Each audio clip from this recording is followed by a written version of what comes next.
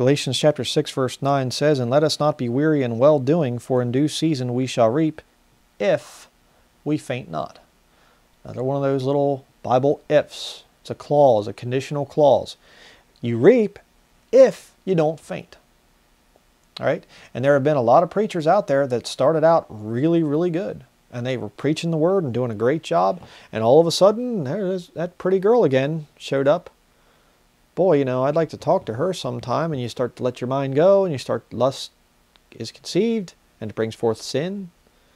You know, and all of a sudden, that good, great preacher has committed adultery, and now his whole ministry falls apart, his whole life falls apart, his marriage busts up, and everything else. And he dies some miserable, drunken bum out on the streets. You think he's going to reap the rewards for the good labor that he did? No. Why? He did. He fainted. You know, it says there, "If we faint not," he got messed up as a Christian, when you get to serving the Lord, you better keep with that thing. And that's why if you see, hey, the Lord's leading me in this direction, you don't say, well, tough apples, I'm just going to keep doing this whole thing myself. I'm just going to run this thing into the ground. No, no, no, no. You stay open to the Lord's leading. And if the Lord leads you in some direction and He's definitely opened a door there and He's telling you, go that way, you better go that way or else you're going to run that ministry into the ground the ministry that the Lord has called you into. You better be open to the Lord's leading. Go back to Titus. Back to the book of Titus. Titus chapter 3.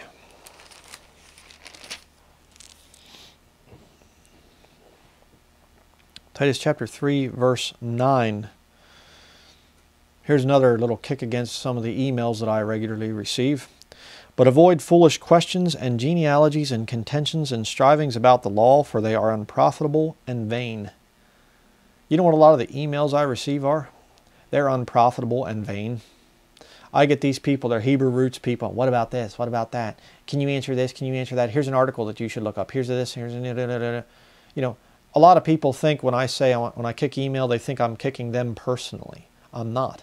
There are some emails that I have enjoyed. I like to hear from people that, you know, I like to hear from people that write me and they say, hey, brother, I just, you don't have to respond to this, but I just want to say you've been a real blessing, you know, blah, blah. Could you do a sermon on such and such? Praise the Lord. I have no problem with an email like that. What I have a problem with and what I get regularly is right here in verse 9 foolish questions, genealogies, contentions, strivings about the law.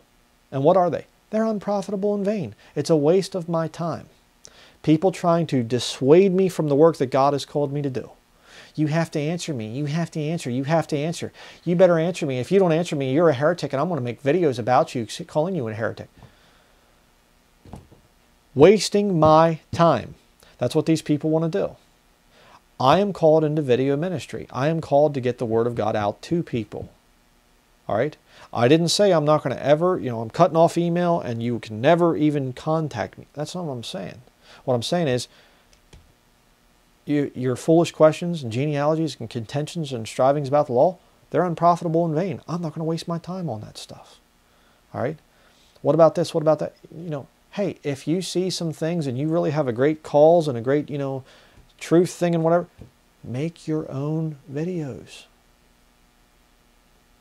I mean, why are you hiding behind me?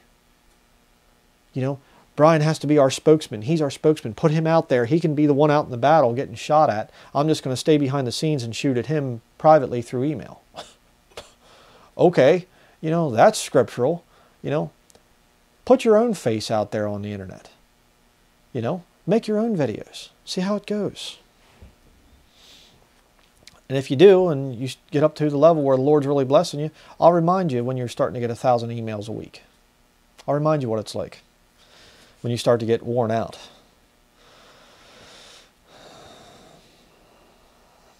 Titus chapter 3, verse 10 and 11. Having a good time today. Uh, a man that is an heretic after the first and second admonition reject, knowing that he that is uh, such is subverted and sinneth, being condemned of himself. What did we read earlier there in 2 Timothy chapter 2? They oppose themselves being condemned of himself. You see it? You see that there? Somebody comes along and they're just proud, arrogant, they know everything, you know nothing. You can't correct these people. You say, hey, you know, you ought to think about such, oh, you know what you're talking about? You know, you ought to think, really need to think about this verse. Don't know what you're talking about? Drop it. Drop it at that point. And especially true of lost people. You start messing around with lost people and, and you start to witness to them and things like that, and they start to rebuke back and everything else, okay, all right, see ya, see ya, sorry. But this also applies to saved people. There are saved people that can get into heresy. And if you try to admonish them and they don't want anything to do with it, leave, go away.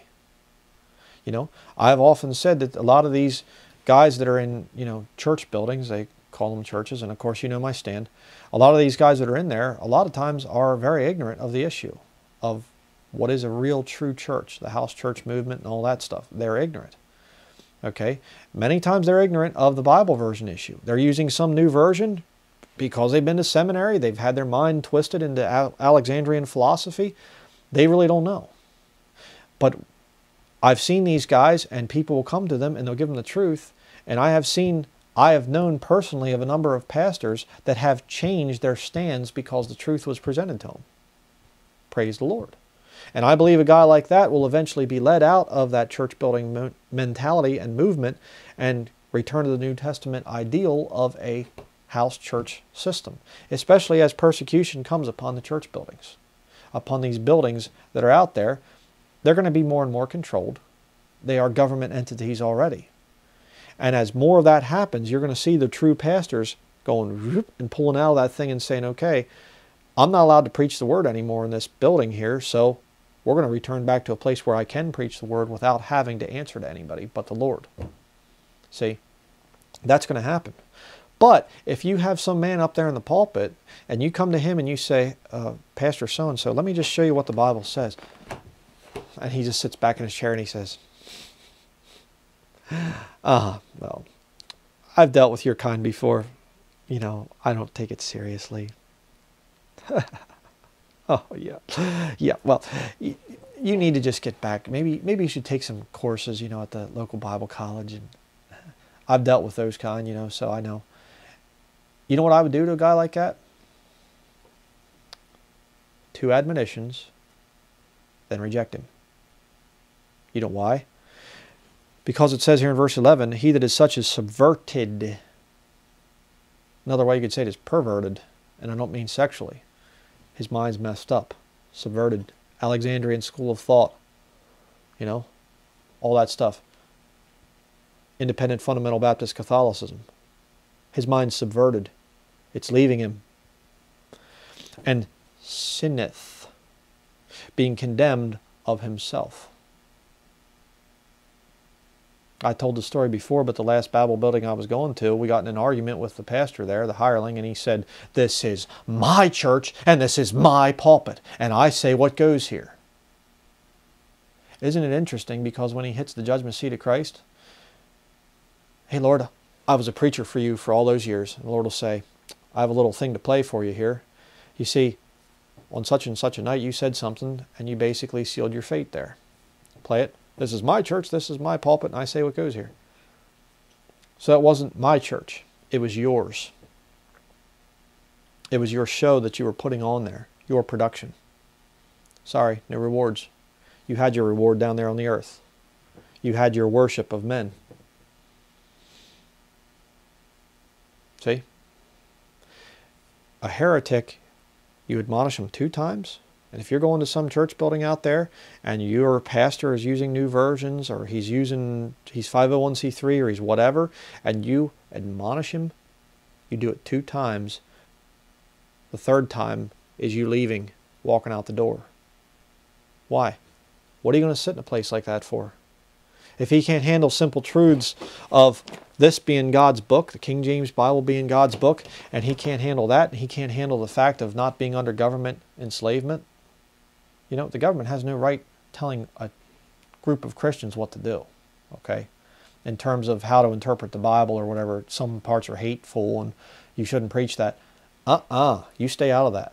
That's the government has no right to come into that, you know, realm. Okay, the government is there to punish evildoers. All right, if you're doing good, they have no right to mess around with you. But you see, when you have that situation there where you're in one of these buildings and that guy will not be admonished, leave. Because you can't trust a guy like that with expounding the truth. He's going to get more and more and more twisted as time goes by. But let's continue here. Uh, verse 12 and 13. When I shall send Artemas unto thee, or Tychicus, be diligent to come unto me to Nicopolis, for I have determined there to winter. Bring Zenas the lawyer and Apollos on their journey diligently, that nothing be wanting unto them. Hmm. Both verses had the word diligent, diligent and diligently. Let's see the Webster's 1828 dictionary definition of the word diligent. Okay, definition. There's two definitions. Number one, steady in application to business, constant in effort or exertion to accomplish what is undertaken, assiduous, attentive, industrious, not idle or negligent, applied to persons. Then it quotes Proverbs uh, 22 there. Seest thou a man diligent in his business? He shall stand before kings. The second definition is steadily applied, prosecuted with care and constant effort, careful, assiduous, as make diligent search. And it quotes Judges 19, the judges shall make diligent inquisition. All right. Did you know that that's a good explanation of a real true ministry? A real true ministry should be diligent. Steady in application to business, constant in effort or exertion to accomplish what is undertaken, assiduous, attentive, industrious, not idle or negligent, applied to persons. Paul was saying to Titus, You're supposed to be diligent. Hey, you know, uh, be diligent to come unto Nicopolis. Be diligent. Don't be hasty and kind of, well, I don't know if I should. Don't be double minded. Double minded man is unstable in all his ways. You're supposed to be diligent. And you see, I'm I was failing there before I made the decision about the email thing. Why? I couldn't be diligent. I could not say, I need to get these videos done. I need to get to, because it was like, I got to answer email. I mean, you answer, I mean, spend about five or six hours answering emails on 40, 50 different subjects and see how much energy you have at the end of the thing. I mean, it'll wipe you out. I mean, just, I mean, I, I did it a couple times. It was just, I mean, out, out of it, you know? I mean, it takes a lot of time. It takes a whole lot of time. And you say, well, I think you should do, okay, start your own emailing ministry. All right? Do it. Go ahead. But you see, a ministry is supposed to be diligent. Paul was writing to Titus there saying you need to be diligent. That's what I want to do in this ministry. I want to be diligent about bringing out more videos. And of course, we will be. Um, look at verse 14. Another very important verse here. And let ours also learn to maintain good works for necessary uses, that they be not unfruitful. Okay? Now I want you to notice two types of good works in this passage. Number one, you have good works for necessary uses. That's the good works that you want to do. And of course, remember the whole sense of the passage here. You go back to verse 1, ready to every good work. That's the that is the whole structure of what happens after you get saved. Okay? You are bought with a price. Your life is not your own. You're to glorify God with your life. You are there, created in Christ Jesus unto good works. So you have two different types of good works that can come. Number one, you have those good works for necessary uses. But number two, uh, for necessary uses that they be not unfruitful. Did you know that there are good works that you can do that are unfruitful? You say, like what? A groundskeeper at a big church building? So, oh, now, come on, Bryan, you're, you're really attacking the church buildings. Yeah, and I will always continue to attack those because I went through it for years and years and years. We'd go down to the local Bible building where I used to go, Liberty Baptist Church.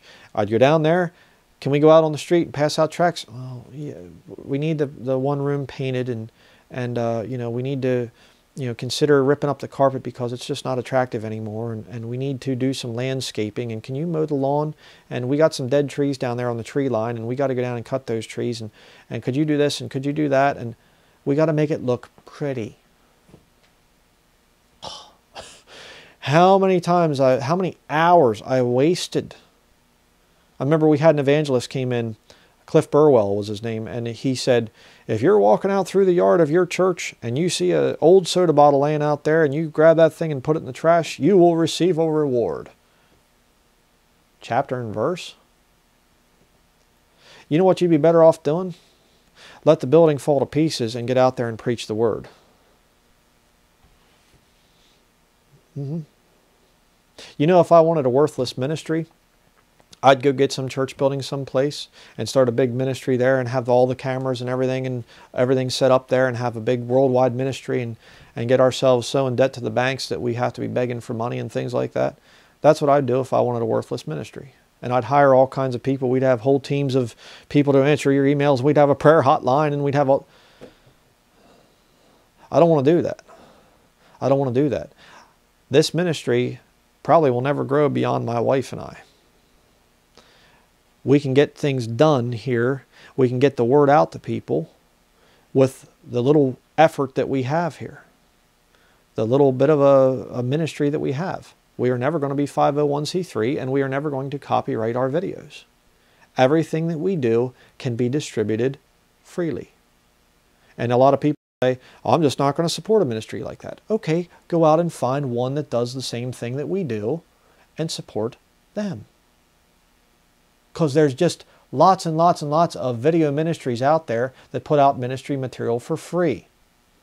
You know, and that have no, you know, that have giant buildings that are worth a million dollars and they need to pay the mortgage and everything else. You know, I mean, it's pretty ridiculous. But you see there the thing about you want to do good works in this life for necessary uses. And I've talked about this in other sermons, the thing of supporting ministries. There are ministries that you're not going to be able to do. That's the purpose of donation. That's the purpose of support. Okay? Why? Turn here one other place. Philippians chapter 4. Philippians 4, uh, verse 14, we'll start there. Notwithstanding ye have well done that ye did communicate with my affliction. Now ye Philippians know also that in the beginning of the gospel, when I departed from Macedonia, no church communicated with me as concerning giving and receiving, but ye only. For even in Thessalonica ye sent once and again unto my necessity. Notice that. Look at verse 17. Not because I desire a gift, but I desire fruit that may abound to your account. That is why you donate to ministries. If you see a ministry that is doing good work for the Lord, you say, I want to have a part of that. I see fruit. Remember back there in Titus chapter 3, it said, Good works for necessary uses, that they be not unfruitful. You see? See, there's a lot of people that are going to these big Babel buildings. Again, the one I used to go to there, it was huge, multi-million dollar place. They'd gone through numerous splits, you know, pastors had problems and stuff. Numerous splits. It had gone from like $900, or yeah, $900. 900 members in its heyday. Jack Hyles would preach there. Jerry Falwell was preaching there. Went from 900 members. They had a Christian school and all kinds of stuff. Went down to about 30 members. All right. And here they are. They're hanging on to this building with a death grip because, see, they can't sell it because it's a government entity. You know, 501c3. Look that up too. A 501c3 building is not owned by the people, it's owned by the federal government. That's why you can't sell them. But anyways, they're holding on to this multi-million dollar building and they're just paying out all these bills and everything else. The fire alarm system could not have passed an inspection. The parking lot had huge potholes in it and all this other stuff. And it was just like, we got to hold on to this thing. We got to hang on. Someday, you know, we're going to have a great revival and it's going to come back. We're going to bring things back the way that used to be in the glory days. And those people are pumping their money into this dead building. For what? See, they were trying to do good works for necessary uses, but it was not for necessary uses, it was failing, and they were becoming unfruitful as a result. They weren't reaching anybody through that thing. So what you do is you look for a ministry and you say, is this ministry producing fruit? Hey, give you a couple good ones. Local church Bible publishers. Do they produce fruit? Oh yeah. They produce some really good fruit. Fellowship Tract League. Are they producing fruit? You better believe it. Putting out tracts for free. You can write to them and say, I'd like some tracts. They'll send them to you for free. You don't even have to pay for them. That's a good ministry. A ministry that is worthy of your money, your donations. Why? So that some of that fruit that they have from the ministry can abound to your account.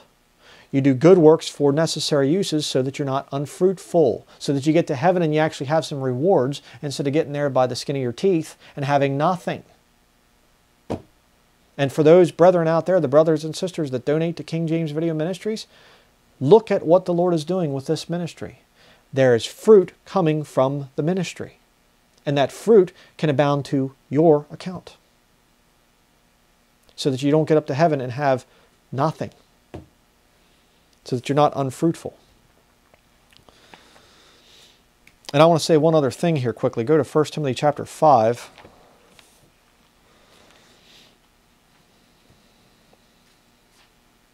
1 Timothy chapter 5, verses 17 and 18, it says here, Let the elders that rule well be counted worthy of double honor, especially they who labor in the word and doctrine. For the scripture saith, Thou shalt not muzzle the ox that treadeth out the corn, and the laborer is worthy of his reward. All right. I am not doing anything unscriptural by saying, Please donate to the ministry. All right. It is my perfect right and duty as a elder that labors in the word and doctrine to say to people, if you want to support, I don't force people. There's no monthly subscription that you have to be part of to get into the website or the special members section, you know. I don't waste my time on that stuff. There are brethren out there that support the ministry, and I praise God for them. We pray for them every night for God's blessing to be upon those that donate to the ministry. And I know people have contacted me and said that God has blessed them for donating to this ministry. Praise the Lord for that. All right. But I'm going to tell you something right now. I'm getting a little bit sick and tired of some of the people that are coming onto this channel and attacking me and saying that this thing is all about money. If you don't have any more spiritual discernment than that, then I'm just going to be quite frank with you. I need to start moving forward with this thing, and I'm not going to pay much attention to you. And in fact, you might get kicked off this channel. Why? You have no respect mean, you come to the channel, you learn from the videos, you watch everything, it's absolutely free, and then you make fun of me. And you start to put me down. See, it's just as much false doctrine. If you'd come onto my channel and start to, you know, I had a I had a guy actually, it's been subscribed to my channel for a long time, and he posted a link to Steven Anderson, one of Steven Anderson's videos. Steven Anderson is a false prophet. A very wicked little false prophet. And you know what that got him? It got him banned from my channel. Why? I don't want people being led to Steven Anderson by this link that the guy put up. You're off the channel. Simple. All right? And you see, you come to the channel and you start to espouse false doctrine. It's just as much false doctrine to say that a preacher, a man that's putting out the word of God, is not allowed to take donations and it's all about money and stuff. That's just as much false doctrine as if you came on here and said that hell is not literal fire or that we're going to go through the time of Jacob's trouble or whatever you are espousing false doctrine. All right? And I'm going to get rid of you. Why? Because you're hurting the ministry. You're lying about me while coming here and benefiting from the studies that I put out. I'm not going to put up with that, to be very frank. I'm going to start kicking people off the channel. This ministry, you know what I want? I want people that come here that know the book that know the Word of God. And I've seen this thing. It's, it's a beautiful thing when I see this. I see somebody making, making a comment, having a question in the comments section, and I see my brothers and sisters in Christ, not my followers, my brothers and sisters in Christ, many times that know the Bible better than I do, and they come and they answer that person, and they give them Scripture. You see? What are you, what are you doing? You're a fellow laborer with me. You're coming and you're helping out the ministry. You're adding something to the ministry. You are an asset to King James Video Ministries, not a liability. I don't want liabilities. I don't need liabilities. People coming here and attacking me personally. You know, if you want to attack me personally, have at it. start your own channel, get your own camera, video equipment, all the other stuff. Start your own ministry.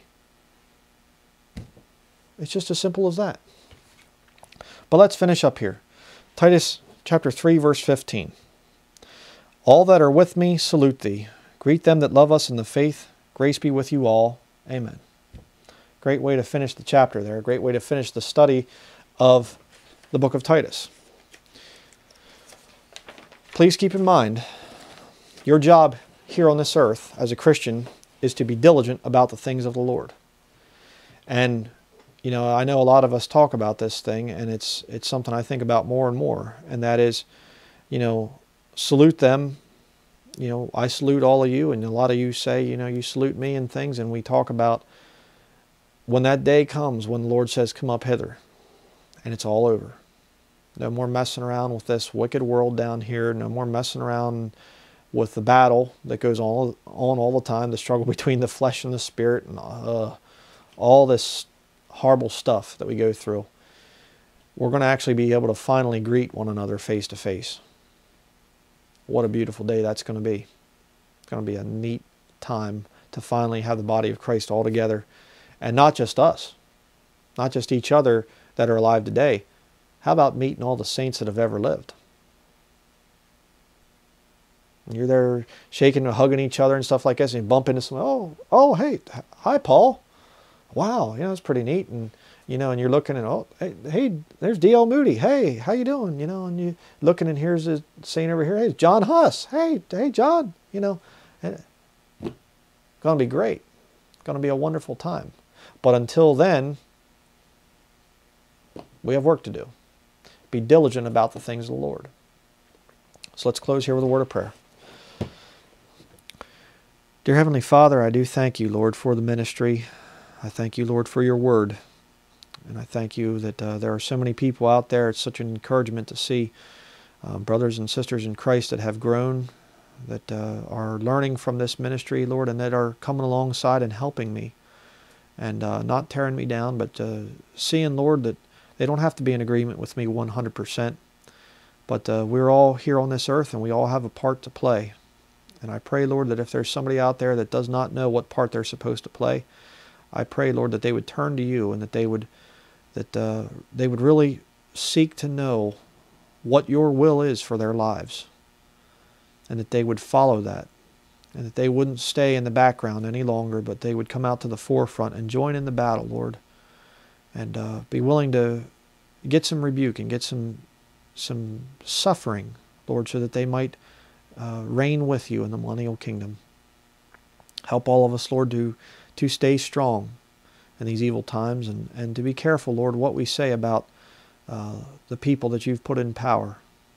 I know I need to be careful about that myself, Lord. I know I've slipped sometimes and I start to attack the, the flesh when it's the principality really that's controlling things. And Lord, I just uh, I ask that you would help all of us to be busy about your work, that we would be careful to maintain good works, that we be not unfruitful. And I just uh, pray all of these things in the name of our Lord and Savior Jesus Christ. Amen. All right, that's going to be it for the book of Titus. I have a bunch of different sermon ideas coming up here. Not sure what I'm going to be doing next week yet, but uh, stay tuned. We'll see what uh, transpires. I'm definitely going to have uh, some neat things coming out here in the future. So please keep us in your prayers. And that's going to be it. Thank you very much for watching, and may the Lord Jesus Christ be with you until we meet again.